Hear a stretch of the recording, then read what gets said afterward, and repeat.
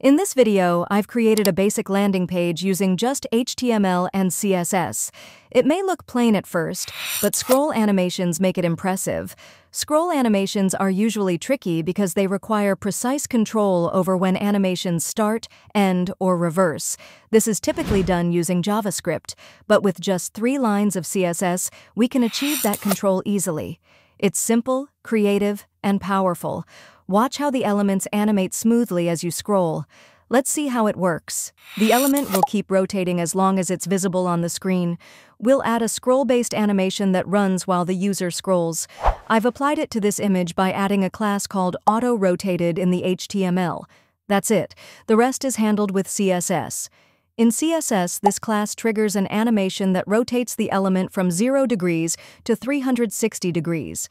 But unlike regular animations, we don't set a fixed duration, because it depends on how fast the user scrolls. In this case, the animation won't work as expected. To make it work, we use the animation timeline property with the view function.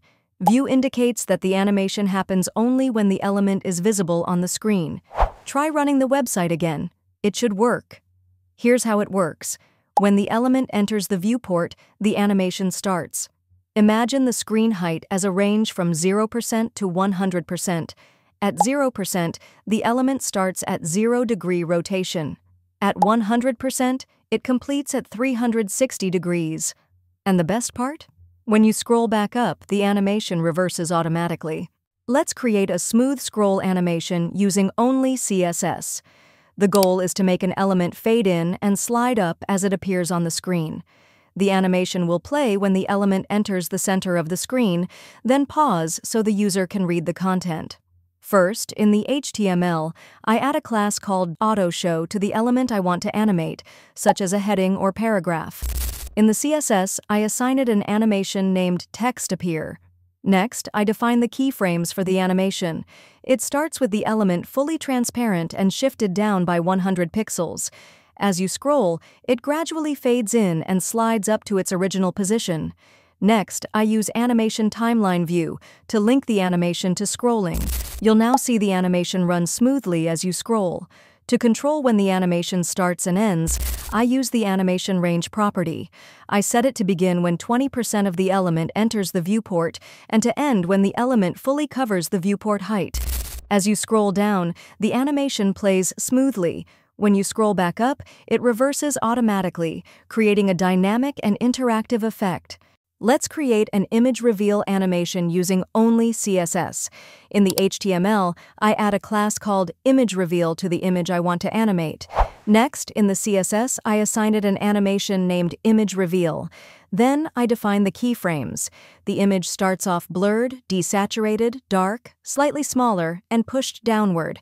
As the user scrolls, it gradually becomes sharp, bright, colorful, and returns to its original size and position. To trigger this animation on scroll, I use Animation Timeline View. The animation will run right. Now, the view function accepts two values. The first value controls when the animation finishes. For example, 50% means the animation completes when the element reaches the middle of the screen. The second value controls when the animation starts. For example, 20% means the animation begins when the element reaches 20% of the viewport.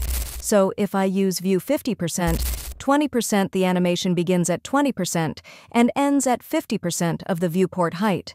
When using scroll-based animations, always use both value, for better control and a smoother experience. In most cases, using 10% and 5% as your view values works great for subtle scroll-triggered effects, and that's how you create a smooth image reveal animation on scroll. Let's create a popular fade-up animation using only CSS. First, I assign a class called FadeUp to each timeline item that I want to animate.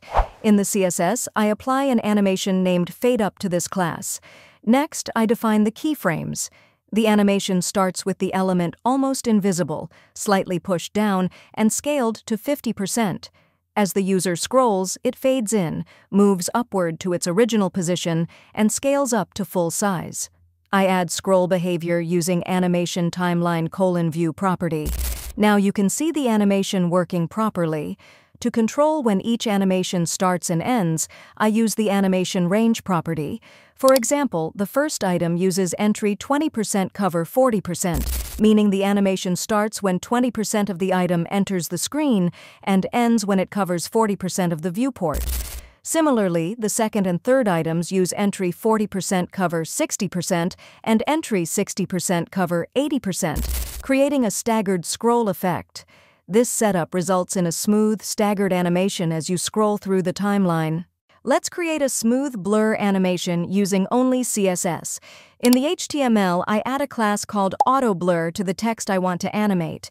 In the CSS, I assign it an animation named AutoBlur Animation, with a linear timing function and both fill mode to apply styles before and after the animation. Next, I define the keyframes. The animation starts with a strong blur of 20 pixels. As the animation progresses, the blur gradually reduces to zero, making the text fully clear. I use Animation Timeline View to tie the animation to scroll position. To make the text stand out in the center of the screen, I set the animation to end at 50%, which corresponds to the middle of the viewport. Now the text looks clear in the center, but I also want it to blur again afterward. To achieve this, I set the blur to zero between 35% and 45% of the scroll range, so the text appears sharp when it's centered. It then blurs again at 70% and finishes with no blur. This approach makes it easy to create smooth blur in, blur out, and sharpen effects while scrolling. Let's create a horizontal scrolling animation using CSS. In the HTML, we add a class called Horizontal Scroll Wrapper. In the CSS, I set overflow X auto, so the content inside can scroll horizontally if it overflows. I add scroll snap type X mandatory to make each child element snap into place as you scroll. To make the scrolling smooth, I use scroll behavior smooth. Then I customize the scroll bar using scroll bar width thin for a slimmer look and scroll bar color to set the thumb color to bright green and the track color to dark gray.